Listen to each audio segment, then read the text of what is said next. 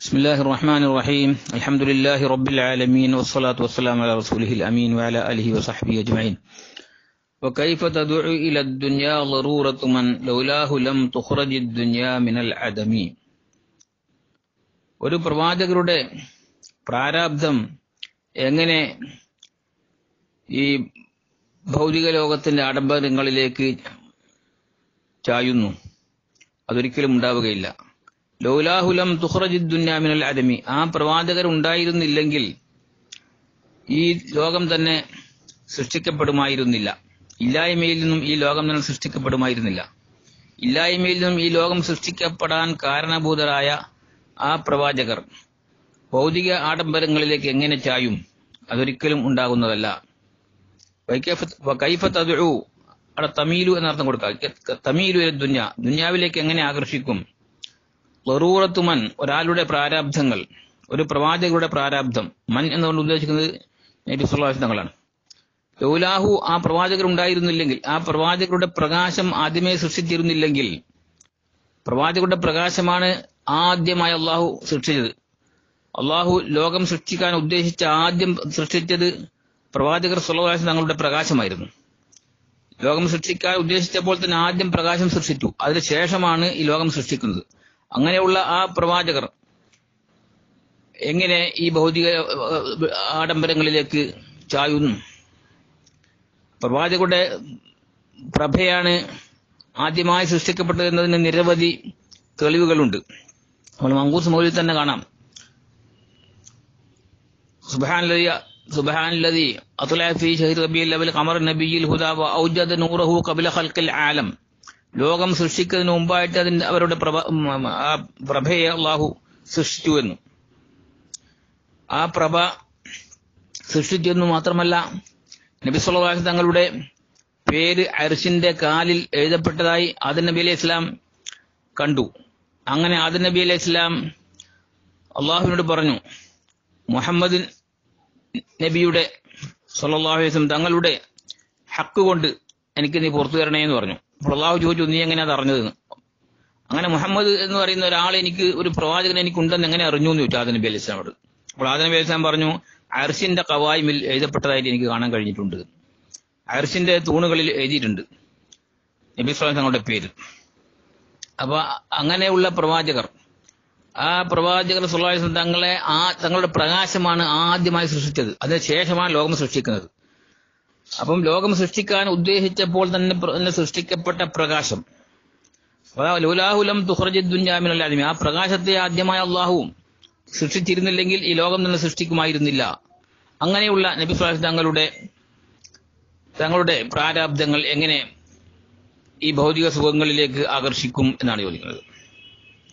മുഹമ്മദുൻ സയ്യിദുൽ കൗനൈനി വസ്സഖലൈനി വൽ ഫരീഖൈനി മിൻ ഉർബിൻ വമിൻ അജമി.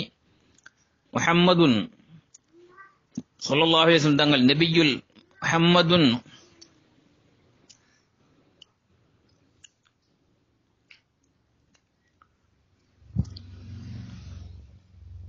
മുഹമ്മദുൻ സയ്യിദുൽ കൗനൈനി വസ്സഖലൈൻ സയ്യിദുൽ കൗനൈനി ഇരു ലോകത്തിലെയും നേതാവാണ് ദുനിയാവിലെയും ആഹത്തിലെയും നേതാവാണ് വസ്സഖലൈനി ഇരു ജീവികളുടെയും ഇൻസു ജിന്ന് എന്നീ രണ്ട് സൃഷ്ടികളുടെയും നേതാവാണ്. മുഹമ്മദുൻ സയ്യിദുൽ കൗനൈനി വസ്സഖലൈനി വൽ ഫരീഖൈനി മിൻ ഉറുബിൻ വമിൻ അജമി. വൽ ഫരീഖൈനി ഇരു വിഭാഗത്തിന്റെയും മിൻ ഉറുബിൻ വമിൻ അജമി. അറബികളിൽ നിന്നും അജ്മികളിൽ നിന്നുമുള്ള രണ്ട് വിഭാഗത്തിന്റെയും നേതാവാണ്.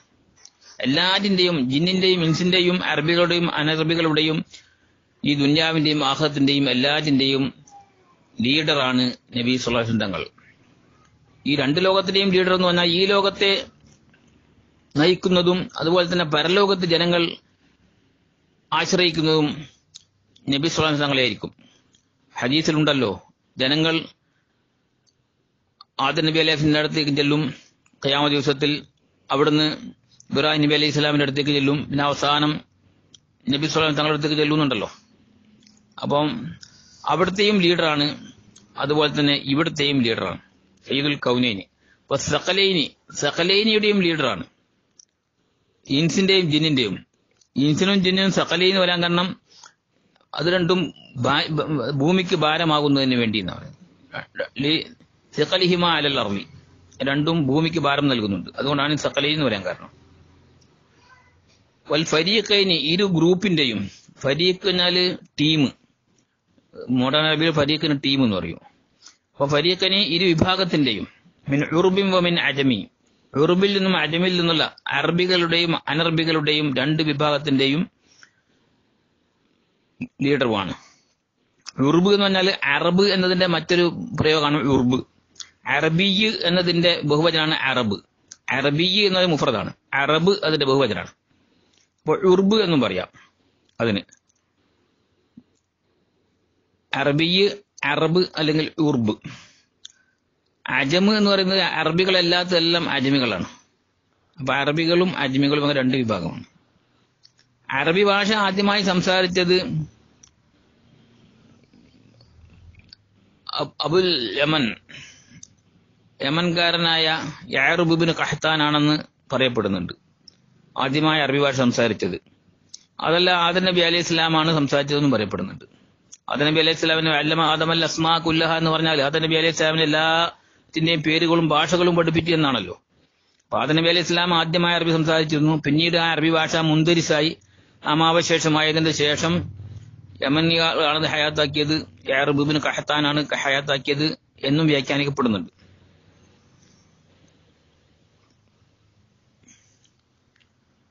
നബിയുനൽ അമിറുൻ നഹി അഹദു أبر في قول لا منه ولا نعم نبينا الآمر الناهي ആ മുഹമ്മദ് നബിയുന എന്നതിന് നമ്മുടെ പ്രവാചകൻ നമ്മുടെ നബി അൽ ആമിറു നാഹി കൽപ്പിക്കുന്നവരും നിരോധിക്കുന്നവരുമാണ് ഇന്നത് ചെയ്യണം ഇന്നത് ചെയ്യരുത് എന്ന് പറയുന്നവരാണ് ഇന്നത് ശരിയാണ് ഇന്നത് തെറ്റാണ് എന്ന് പറയുന്നവരാണ് വലാഹദുൻ ഒരാളുമില്ല ലോകത്ത് വലാ അഹദുൻ അബർറഫി ഫീ ഖൗലി ലാ മിൻഹു വലാ നഅമി വലാ അബർറ മിൻഹു. അവരെക്കാൾ സത്യം പറയുന്നവരായി ആരുമില്ല.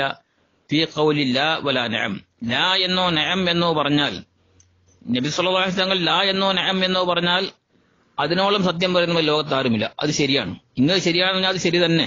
തെറ്റാണെന്ന് പറഞ്ഞാൽ തെറ്റ് തന്നെ. ഏത് വിഷയം എടുത്ത് നോക്കിയാലും ഇസ്ലാം ഇന്നത് തെറ്റാണ് ഇന്ന് ശരിയാണെന്ന് അത് തന്നെയാണ് എന്റെ വസ്തുത. അപ്പോ നബിയുന എന്നത് മുഹമ്മദുൻ എന്നതിന്റെ സിഫത്തായിട്ട് ഉപയോഗിക്കാം. അല്ലെങ്കിൽ മുഹമ്മദ് എന്നതിന്റെ മുഹമ്മദുൻ സയ്യിദു എന്നതിന്റെ രണ്ടാമത്തെ ഖബറാക്കാം. എങ്ങനെ വേണമെങ്കിലും ചെയ്യാം. ഏത് വിധത്തിൽ വേണം വ്യാഖ്യാനിക്കാം. നബിയുനൽ ആമിറുൻ നാഹി വല അഹദു അബർറ ഫീ ഖൗലി ലാ മിൻഹു വല നഅമി വല അബർറ മിൻഹു ഫീ ഖൗലി ലാ വല നഅം. ലാ എന്ന വാക്കിലോ നഅം എന്ന വാക്കിലോ അബർറായിട്ട് അതായത് അസ്ദഖായിട്ട് ലോകത്ത് ആരുമില്ല. അപ്പോൾ ഇസ്ലാം ഒരു കാര്യം ശരിയാണെന്ന് അത് ശരിയാണ്. തെറ്റാന്ന് പറഞ്ഞാൽ തെറ്റാണ്. മദ്യപിക്കാൻ പാടില്ല. അത് തെറ്റാണെന്ന് പറഞ്ഞാൽ തെറ്റ് തന്നെ. അതെല്ലാവർക്കും അറിയുന്ന കാര്യമാണ്. അതുപോലെ പട്ടവന്റെ കൈ മുറിക്കണമെന്ന് പറഞ്ഞാൽ മുറിക്കലാണ് ശരിയെന്ന് എല്ലാവർക്കും അറിയാം. ശരി തന്നെയാണത്. ഏത് വിഷയം എടുത്ത് നോക്കിയാലും ഇന്നത് ശരിയാണ് ഇന്നത് തെറ്റാണെന്ന് ഇസ്ലാം പറഞ്ഞിട്ടുണ്ട്. അത് അങ്ങനെ തന്നെയാണ്. അതിൽ റസൂൾ സുലാഹ് തങ്ങളെക്കാൾ സത്യം പറയുന്നവരായിട്ട് ആരുമില്ല എന്നാണ് കവി പറയുന്നത്.